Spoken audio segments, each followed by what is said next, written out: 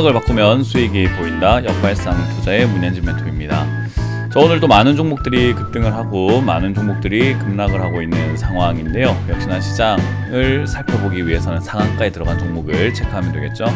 도움이 되신다면 좋아요와 구독 꼭 눌러주시길 바라면서 오늘도 바로 출발해 보도록 할게요. 어, 이번 주는 명절 관계로 저희가 무료 강연은 준비하지 않았습니다. 역시나 명절 동안 푹 쉬시고요. 끝나고 난 다음에는 매주 화요일과 일요일 제가 오후 9시에 어, 역시 공부방 준비하고 있으니까요. 많은 분들 참여해 주시길 바랄게요. 자 그럼 오늘 어떤 기업들이 올라왔는지 살펴보기 앞서서 시장부터 체크해 보면은 시장 역시나 방향이 아직 없다 생각이 들죠. 미국 시장은 어떤가 한번 체크해 볼까요? 어, 미국 같은 경우는 이렇게 S&P랑 다우존스, 나스닥 모두 사상 최고치로 완전히 뿍 하고 올라가는 모습인데 지금 이제 우리나라는 약간 횡보한 형태로 늘어지는 그림이 나오고 있습니다. 어, 차트 모양상으로는 이렇게 약간 벌어지는 형태가 만들어졌었는데 이 가운데에서 올라가지는 못하고 약간은 루즈해지고 있는 거죠. 이러다가 이제 밑으로 떨어지게 된다면은 조금 피곤해질 수 있는 상황이 만들어질 것 같은데요. 어, 지금 이제 국채금리가 올라간다라는 이야기 많이 들으셨고 많이 보셨을 텐데 이 국채 금리가 올라가게 되면 아무래도 금리 자체가 올라갔다. 그 말은 채권 가격이 점점 떨어지고 있다라고 보시면 되거든요. 그래서 자산 시장에 버블이 살짝 꺾이는 모습이 채권 시장부터 조금 보여지기 시작을 했기 때문에 아 이거 잘못하면은 이제 우리나라 증시도 조금은 조정이 깊어질 수도 있겠다 생각이 듭니다. 그래서 일단 지난 1월 들어오자마자 제가 고점 신호다 이거 고점 신호 나오고 난 다음에는 폭락은 나오지 않을 것 같은데 횡보할 가능성이 높다라고 여러 번 강조해 드렸는데 지금은 횡보 중이고요. 지금 이렇게 만들어졌다고 해서 하락이다라고 우리가 뭐 완전히 확신을 할 단계는 아닌 것 같습니다. 하락이 아닐 수도 있고 계단식으로 이렇게 올라갈 수도 있기 때문에 지금 명절 전에는 뚜렷한 방향성은 나오지 않을 것으로 보여집니다. 그래서 여러분들도 투자하시는 데 있어 가지고 조금 조심스럽게 살펴보시는 게 좋고요. 전통적으로 명절 전에는 매수하지 않는 것이 좋아요. 아무래도 명절이라고 하는 기간 동안 우리나라 증시는 쉬고 있지만 다른 증시는 움직이고 있고 또 외교 문제라든지 정치 문제 이런 것들은 계속 뜨겁게 달궈지고 있기 때문에 어, 그런 부분들을 좀 감안하신다면 명절 전에 섣불리 매수하시는 습관보다는 명절 우리가 주식 투자하신 지 얼마 안 되신 주린이 분들은 명절 전에는 어, 우리가 현금화할 수 있는 부분들을 좀 현금화하는 것이 좋은 방법이구나 매수하지 않는 것이 좋은 방법이구나를 배우셨으면 좋겠습니다. 자 일단 명절 지나고 여러분들이 매수하시는 것이 좋고 추가 매수도 뭐든 그때 하시는 게 좋기 때문에 조금 기다려 보시는 게 좋겠고요. 지금 올라오고 있는 종목은 상한가에는 위지트와 이트론이 들어가 있는데 이트론은 어제 제가 어, 녹화할 때는 상한가가 들어가지 않았었는데 녹화 이후에 상한가로 직행을 하고 지금도 상한가에 들어가서 2연상, 2연상을 성공하고 있는 모습입니다. 자 그리고 그 외에는 상한가 근접으로는 23종목 아무래도 비트코인이 테슬라에서 비트코인으로 자동차 결제하게 하겠다라는 뭐 가상화폐를 받겠다라는 이야기 나오게 되면서 우리 기술 투자와 같이 이런 비트코인 관련주 비덴트부터 해서 비트코인 관련주들이 급등하고 올라가는 모습들도 보여지고 있네요. 상한가에 들어갔다 나온 종목들은 지금 다섯 개가 있네요. 동양 에스텍, 에스텍 부터 지금은 글로벌 SM까지 상한가에 들어갔다고 방심해서는 안 된다라는 걸 보여주고 있고요. 그리고 일곱 종목이 지금은 10% 이하로 빠지고 있는데 살펴보도록 하겠습니다. 일단 3부 토건입니다. 많이 올라왔었죠. 그러니까 빠지는 것은 어쩔 수 없다 생각이 들고 어, 역시나 뭐 이낙연 관련주라든지 김경수 관련주라든지 뭐 이런 식으로 정치 테마로 움직였던 종목인 만큼 빠지는 게 뭐 살벌할 수밖에 없다 생각이 듭니다. 그리고 BK탑스입니다. BK탑스는 4년 적자 위험이 있는 기업이에요. 그래서 재무제표를 제가 조금 보면서 투자하시는 것이 옳다라고 요즘에 설명을 많이 드리고 지난 어, 11월 정도부터 작년 11월 10월 달부터 재무제표 좀 보세요라고 말씀 많이 드렸는데 요 기업은 적자가 심한 기업이다 라고 보시면 되겠죠. 그래서 이제 아무래도 그런 위험성들이 이제는 조금은 보여지는 것은 아닐까 라고 생각이 듭니다. 어, 그리고 지금 파라텍이라고 하는 기업 엄청나게 쏟아져 나오고 있죠. 파라텍 이전부터 소방 관련주로 움직였던 종목인데 휴림 로봇하고 이렇게 원래는 같이 급등을 했었어요. 근데 최대 주주가 계약 파기 이후에 뭐 지분을 던졌나 마나 뭐 이런 이야기들 그리고 최대 주주 변경 이야기가 어, 있어가지고 급등했지만 최대 주주 변경 안 할 수도 있다 그런 이야기 때문에 휴림 로봇과 파라텍 둘 다 폭락 중이고요. 그리고 이미지스라고 하는 기업이죠. 이미지스 지금 이 회사도 지금 관리 종목 지정 사유 발생이 됐다고 하네요. 그래서 어, 관리 종목 지정되면은 뭐 매매가 안 되는 건 아니나 일단 그런 거 있어가지고 자칫 잘못하면 상패로 이어질 수 있는 위기에 놓여지기 때문에 그리고 관리 종목을 탑하기 위해서는 유상 증자, 무상 감자 등의 여러 가지 또 악재들이 생길 수 있거든요. 이제 그런 것들이 선반영되면서 폭락하고 있다 보시면 되겠습니다. MP 한강도 마찬가지의 모습으로 조금 빠지고 있는 그림인데 뭐 지분 매각 이야기가 조금 나왔었으나 뭐 그 외에는 딱히 없는 것 같습니다.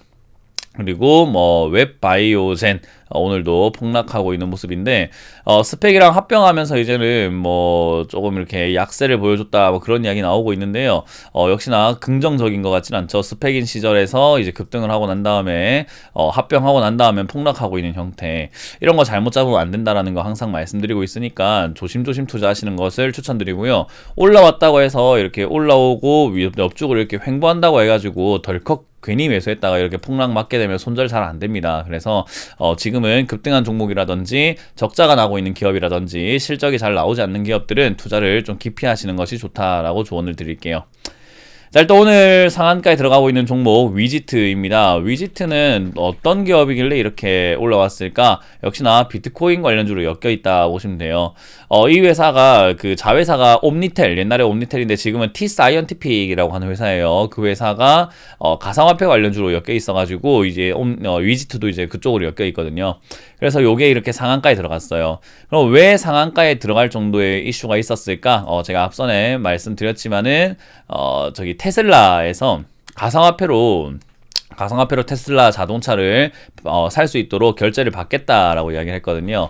그래서 이제 그런 부분들이 역시나 테슬라 효과로 인해서 상한가에 들어갔다라는 뉴스가 보여지는데 저는 아직까지는 뭐 그렇게까지 가상화폐 관련주들이 이렇게까지 가야 되나라는 의심을 해보게 됩니다. 그래서 거래량이나 이런 것들을 보더라도 정고를 뚫지 못할 가능성이 크지 않을까 2,200원 정도까지 올라오다가 내려갈 가능성이 높아 보이니까요. 들고 계시는 분들 괜히 앞전에 비싸게 사셨다가 물렸다라고 한다면은 어좀 정리하는 관점으로 보시는 게 어떨까 싶습니다. 그래서 매도 하시는 것이 좋다라는 조언 드릴, 드릴 것 같고요. 이트론이라고 하는 회사 이제 급등하고 있는 부분이죠. 이트론은 도대체 무슨 회사이며 뭐 때문에 올라왔을까? 역시나 저 러시아 백신 그 관련해가지고 백신 관련주로서 급등하고 있어요. 요 회사의 이제 대주주가 EID라고 하는 회사인데요. EID라고 하는 회사가 또 어, 백신 관련주로 엮이면서 지금은 급등하고 있죠. EID가 그래서 자회사인 어, 이트론도 같이 급등하고 있는 모습인 것 같습니다. 뭐 러시아 백신 이야기와 함께 올라오다 보니까 뭐 이게 역시나 풍문과 뉴스를 뿌리면서 올라온 재료, 어, 내용인 것 같다, 세력주인 것 같다라는 생각이 정말 많이 드는 기업이고요. 이트론이라고 하는 회사가 좋은 기업인가 아닌가를 살펴보게 된다면은 그렇게까지 출중한 회사는 아닙니다. 그래서 저는 개인적으로 요 종목을 뭐 엄청나게 가져가시는 것보다는 매도하는 쪽이 맞다. 근데 일단 600원에서 700원 정도까지는 이제 이슈의 크기상 한번 슈팅 나올 수 있으니까 저 정도 목표가를 잡고 대응하시는 게 어떨까 싶네요. 그리고 그 외에도 이제 동양 에스텍이 오늘 급등하고 있는데요. 동양 에스텍이 급등하고 있는 이유는 주당 한 주에 무상 증자 결정이죠. 이 무상 증자 결정을 한다라고 이야기 나오게 되면은 보통 급등하는 경우가 있고 증자 이후에 증자 효과로 어 한번 빠졌다가 다시 급등하는 경우들도 많이 있거든요.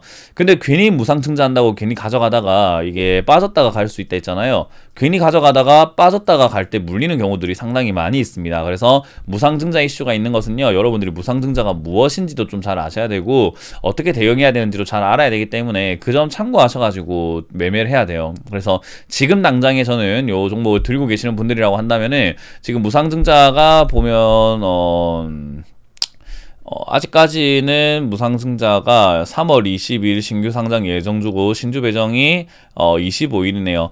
그러니까 조금 더 명절 지나고 난 다음까지는 들고 가시는 게 좋은 게 저런 이슈가 있다라고 한다면 아무것도 모르시는 분들이 매수하는 경우들이 좀 많거든요. 그런 그런 매수세가 5,500원 이상까지도 한번 이끌어 줄 수 있습니다. 그래서 들고 계시는 분들이라고 한다면은 조금 더 보유해 보시는데 상승이 멈춘다라고 하거나 상승이 더 이상 안 간다라고 한다면 매수세가 붙지 않는다라는 거기 때문에 바로 정리하시는 게 좋아요. 뭐딱 다른 뭐 기업적인 이슈라든지 이런 게 아니라 제뭐 이런 무상 증자 개별 이슈 때문이기 때문에 그 이슈에 약발이 떨어졌다 생각하고 매도하시는 게 좋습니다. 그래서 5,500원 이상까지 노려볼 수는 있으나 어, 힘이 빠지면은 매도하라. 그게 어, 오늘 상한가에 들어가지 않더라도 일단 조금 더 보유해 보실 수 있는 부분이니까 어, 명절 지나서까지도 한번 노려볼 필요가 있을 것 같습니다.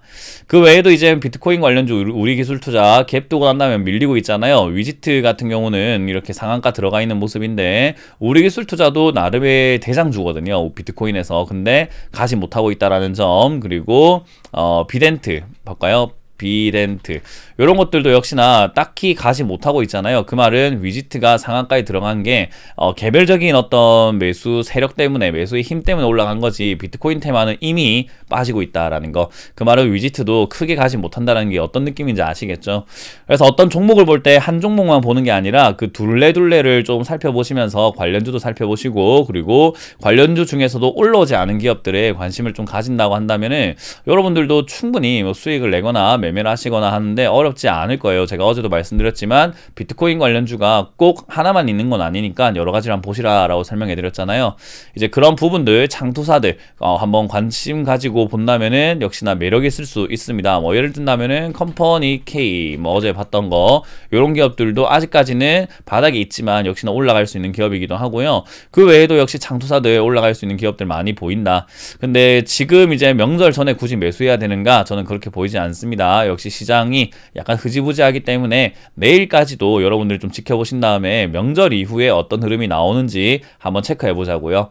그래서 여러분들이 조금만 여유를 가지고 한 걸음만 조금 늦게 간다면 더 안전하게 투자할 수 있는 시장인 것 같으니까요. 그 점 명심하시고 지금은 오전에 매수세로 들어왔던 외국인들이 매도세로 돌아서고 있는 모양 어, 역시 좋은 모습은 아닌 것 같습니다. 항상 관망하자는 조언을 드리면서 마무리 지어보도록 할게요. 명절이 코앞입니다. 여러분들 명절 잘 보내시길 바라고요. 내일도 역발상 투자로 만나 뵐 테니까요. 어, 시장 너무 조급히 생각하지 마시고 천천히 가, 다, 천천히 바라보시길 바라겠습니다. 지금까지 역발상 투자의 문현진 멘트였습니다. 고맙습니다.